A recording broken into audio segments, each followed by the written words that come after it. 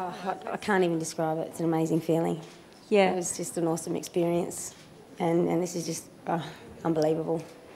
Yeah, I can't even describe how, how much easier he made it for me, and I don't don't believe I could have pulled it off without him.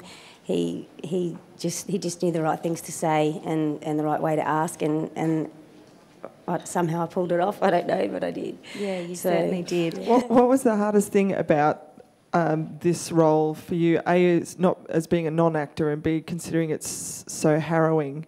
And did you really have to smoke all those cigarettes?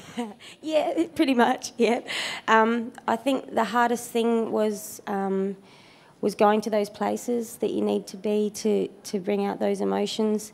Um, but at the end of the day, it was a, a very uh, amazing and also therapeutic experience, if that makes any sense.